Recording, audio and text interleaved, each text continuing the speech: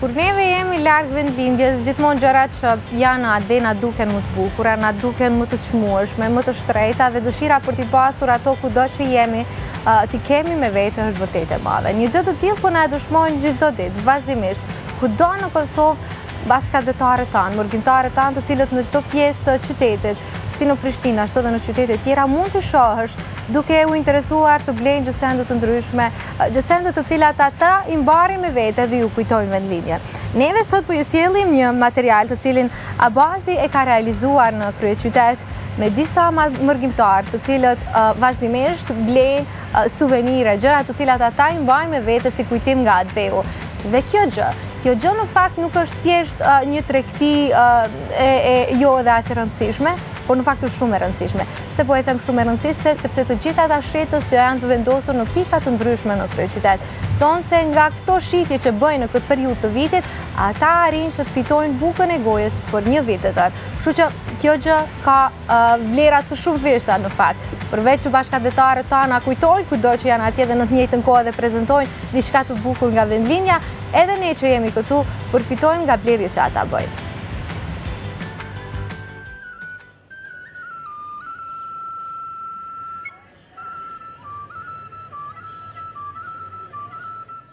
Këtë tingull të bukur të fyellit mund ta dëgjoni gjatë gjithë verës në sheshin Nënë Tereza në Prishtinë.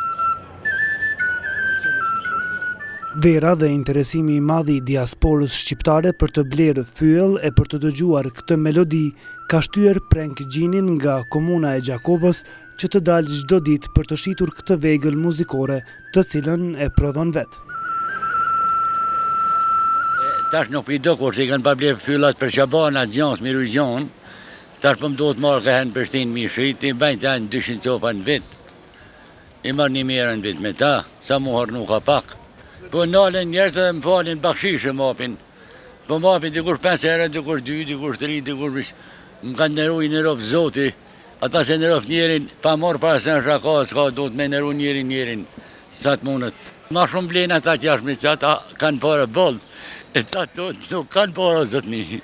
Një fyll pesë euro që ky vogli dhjetë ky i madhi po ata i blejnë se janë për jashta ma shumë se këta këtu jo jam kon natën e Bajramit këtu veç dy copa i kam shit. Të etur për vendlindjen ata duan të blejnë gjithçka që ua kujton atë, qoftë një fyell, veshje kombëtare apo edhe gurë të çmuar të prodhuar në Trepçë. Por gjithsesi, edhe librat janë një nga segmentet më me interes për ta. Një nga librashitësit në shesh, Besian Zeneli, tha se është vera ajo që si shumicës së bizneseve të tjera u siguron stabilitet për tërë vitin. Ne punojmë me një orar shumë më të gjatë për dallim prej muajve tjerë, sepse dalim që nga ora 8 mëngjes dhe ka raste deri dhjetë të natës, domethënë, jemi këtu. Normal gjithmonë falë interesimit edhe kërkesës për të pa, për të shfletu dhe për të ble libra.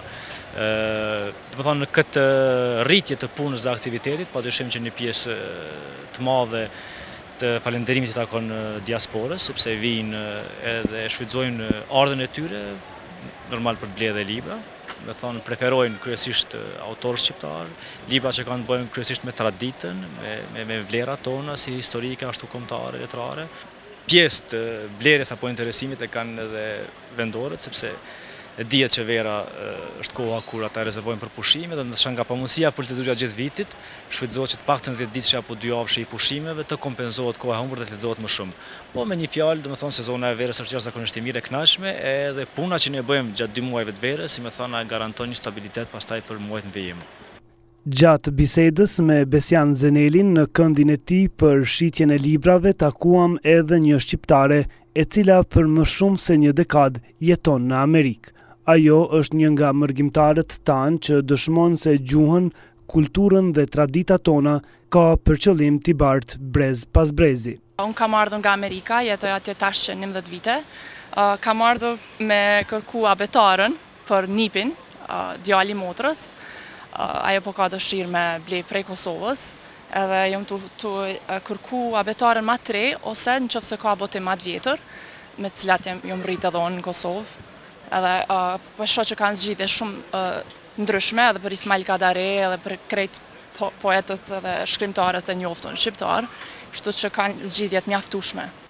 Unë personalisht më pëlqen Ismail Kadare, mirëpo pasi që jetoj atje me kaq shumë vite, jom mësu edhe me libra të huaj, tash më së fundi është Unë jam Malala, është shumë i njoftun edhe ka domethënie të madhe.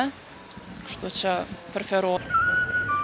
Për diasporën shqiptare, në Kosovë edhe gjatë kësaj vere janë organizuar pritje të shumta, panaire e koncerte, në mënyrë që të mundësohet një frymë familjare në shtëpinë e tyre.